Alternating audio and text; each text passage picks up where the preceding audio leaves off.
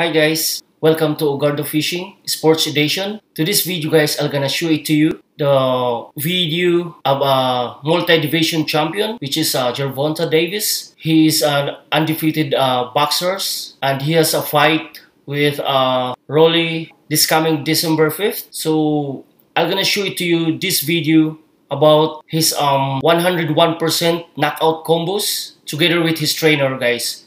So please watch this after the intro.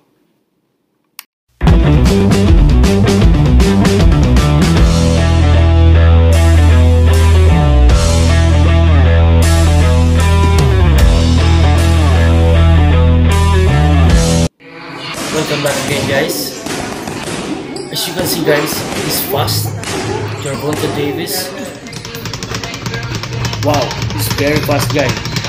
That one is uh, together with his trainer. And now he's doing his workout with the padding. Oh, left and right, very fast. He has a speed and power guys. So please watch their fight this coming December 5th. That is uh, Saturday here. Wow. It's very amazing. He's uh, undefeated uh, boxer guys.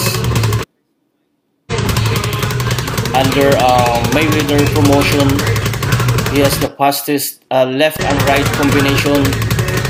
Wow, this guy is unbelievable. As you can see, he has a speed, power. That's why Gervonta Davis, he called him as the Tank Davis because he's very powerful and he has a speed and a head movement, guys. It's really amazing. I don't know with um, Rolly Romero if he can take with the power and speed of uh, Tank Davis because as you can see guys when he hits the pad and the pad of his trainer as well it's very powerful it's like a tank.